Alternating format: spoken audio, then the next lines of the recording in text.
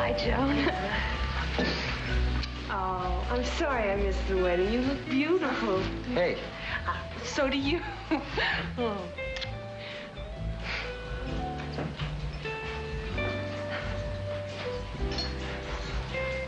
Hi. Hi.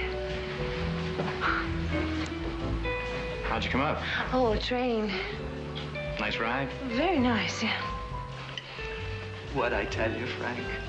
Weddings bring out the best in everybody. Why'd you miss the wedding? Oh, I wasn't going to come at all. Did you tell your parents? Sort of.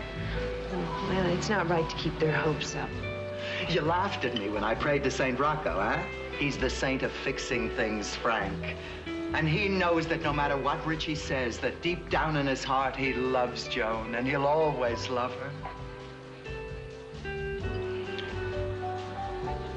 We see.